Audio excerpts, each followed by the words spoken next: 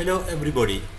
In this video, we're going to do STM32 with uh, ESP01 with ThingSpeak The zero here and it's zero and this is a timestamp going to increase. Uh, I'm going to fast forward the video to see more value. Let's get started with this. The wiring connection is here this side and the other side. I will provide the diagram. The wiring diagram is here. This is the module. There are 8 pins labeled here. A9 to RX, A10 to TX, 3.3 volt to N and ground to ground, uh, VCC to 3.3 volt. Uh, make sure this module is responding to AT command by connecting to USB to TTL module. Uh, and check it. I have made a video, separate video to show how it works. It's available here. Now, for the ESP module, there are two different modes, station mode and soft access point mode. We are going to do this one today. For this one, we have to connect to an access point and we put the access point name and password here and it will connect. Uh, other one is this one. This one can act as an access point. It can directly connect uh, I have made a, another video in my list, the previous video there, if you want, you can watch. Now for the code, it's very simple. Uh, we reset and then we set the CW mode and CW JAP and the CIP mux and in the loop, we go for a full for loop and we step by 0, 20, 40, 60, 80 and 100 for F1. F2 is the timestamp and we start the CIP and then we send it uh, you can see in the code. And uh, for example, uh, this command we can find in the this page number 13 to 71. The AT command instruction set is in this web address. And uh, when you go to page number 13, we can see the AT plus plus RST command. We go to thingspeak.com. I do this one in the description below also. If you don't have account, you can create account for free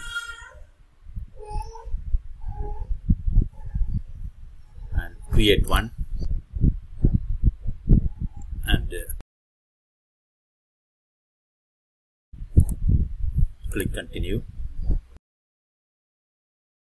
And uh, we tick this one. We go to the email. There will be a new email. Maybe the email in the junk email. Uh, click this one and verify email. It's verified. Now click continue and you can give a password.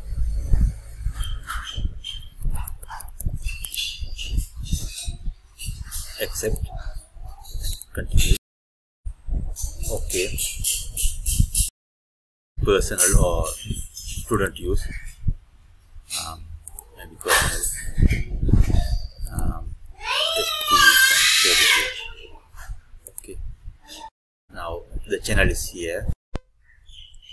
Let's create a new channel. A name I'm going to give my name. A description STM32 uh, field label uh, loop. Um, this one have another one. Uh, time. Temp uh, this one maybe loop value. Mm, that's all. We can save channel. Uh, two chart is cre are created. Now I'm going to change this one to loop value. Now this one is also changed I'm going to delete this one. Before that, I'm going to add a widget. I'm going to add this widget. Next, um, field 2 and uh, time stamp. Create. Now it's created. So now I can remove this chart. And also I'm going to add another widget. Uh, this one for that I'm going to have the field 1 um, that's the loop value. Create. Now they are created. Now for the API keys um, these are the key we need to use. This is the key we can use in this way. I show you in the cube IDE code. And also you can have uh, channel setting uh, sorry sharing. You can share to public everyone or you can click and enter email and they can some people only can watch. So I keep this one for private. And API keys. Uh, now we, we go to cube IDE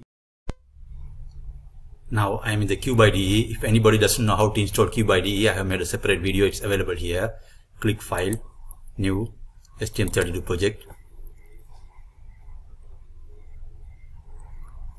for the commercial part number F103C8 this is for the blue pill. Click next. And name I put uh, peak uh, finish. Uh, for the system core sys select debug serial wire and uh, connectivity select USART1 mode asynchronous configuration uh, parameter setting. A baud rate is 115200 this is for the my ESP module. If your, your one is different change it. Otherwise we can keep it. Uh, that's all the setting. We can click save. Yes yes. Uh, for simplicity I have given the code in my website. Let's go there. I give the link in the description below. Um, this is the one. When you go below the diagrams are here the code is here and in the includes we put these two lines. Paste it here. And in the user code begin to we copy from here until user code end to that is here.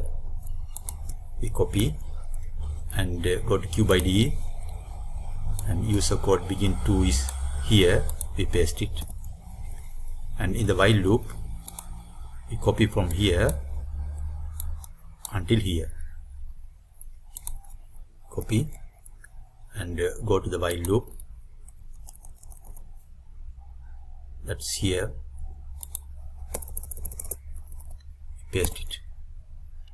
So what is happening here before that we can uh, yeah. What is happening here is uh, I have the API here and we need to change the key. Uh, we go there. This is the key we need to use. So the way they ask to use this way. So we take this copy this key and go there. We paste it. And uh, as I shown in the slide I, I do the reset and then CW mode to 1 and then CW JAP you need to use your access point in your router or something and the password is here. So I'm going to change the password. This password is wrong. I'm going to change it.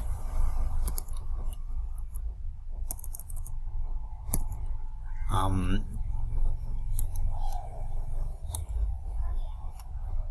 CIP to 0 as I shown. And then in the loop so we CIP, CIP start with the API and then I have the in the loop it's happening uh, 0 to 101 so 20 steps. That means 0 20 40 8 40 60 80 100 so that's the f1 value. F2 value is the HAL_GetTick that's the timestamp. So i'm transmitting transmitting f1 and f2 with the api so in this way so we transmit and then uh, do it again. Um, that's all the code. Now we can save and upload the code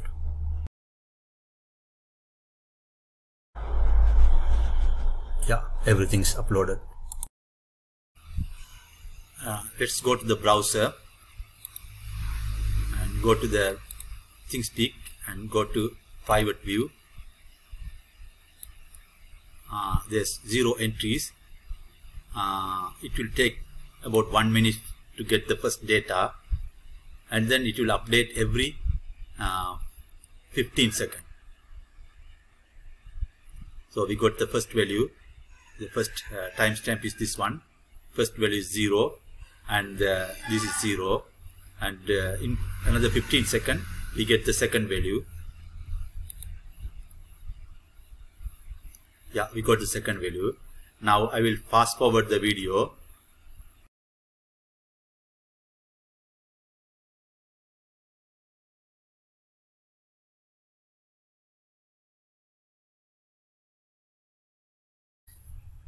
Thank you very much for watching. If you have any question, write down in the comment section below. I will answer as much as I can. Thank you. Bye.